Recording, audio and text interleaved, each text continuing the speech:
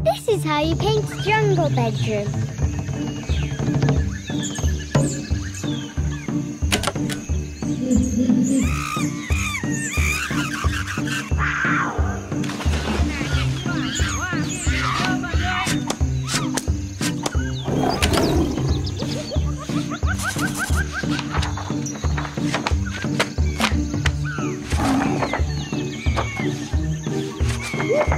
Woo!